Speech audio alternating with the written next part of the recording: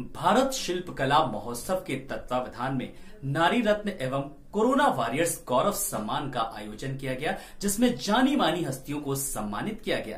कार्यक्रम में विनोद कुमार सिंह की अहम भूमिका रही, साथ ही साथ सांस्कृतिक सचिव सीमा गुप्ता के कार्यों की भी काफ़ी लोगों ने सराहना की। पेश एक खास रिपोर्ट। दिल में हमने ठान लिया है, जीवन का मकसद जान लिया है, मानवता को पहचान लिया है। समाज सेवा ही धर्म हमने मान लिया है।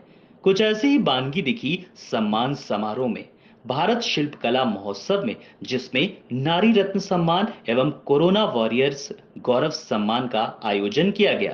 कार्यक्रम का शुभारंभ प्रसिद्ध भरतनाट्यम नृतक विनय तिवारी एवं मलखान सिंह के नृत्य द्वारा किया गया।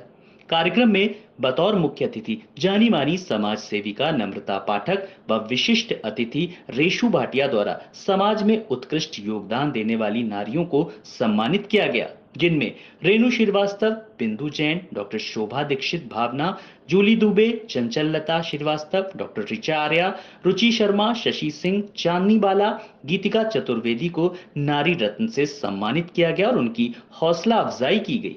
इसके साथ ही कार्यक्रम को आगे बढ़ाते हुए कोरोना काल में जरूरतमंदों की मदद कर उन्हें राहत पहुंचाई। ऐसे समाज सेवियों को कोरोना वॉरियर्स गौरव सम्मान से नवाजा गया, जिनमें सूर्य नारायण पांडे, मनमोहन दास, डॉक्टर सुभाष चंद्र रसिया, श्री प्रियंक रुक्मणी जायसवाल, अभिषेक पांडे, श्री हरि अग्रवाल, अमित कुमार दुबे, प्रतीक चंद्रा, चंद्रदेव दीक्षित, शुभम चित्रांशु, अवनीश चौधरी हरिशरण मिश्रा, आलोक राजा जयेंद्र नाथ चतुर्वेदी, डॉली मेहरोत्रा, राहुल गुप्ता, विकास द्विवेदी, मोहम्मद इलियास जैसे लोग सम्मानित हुए।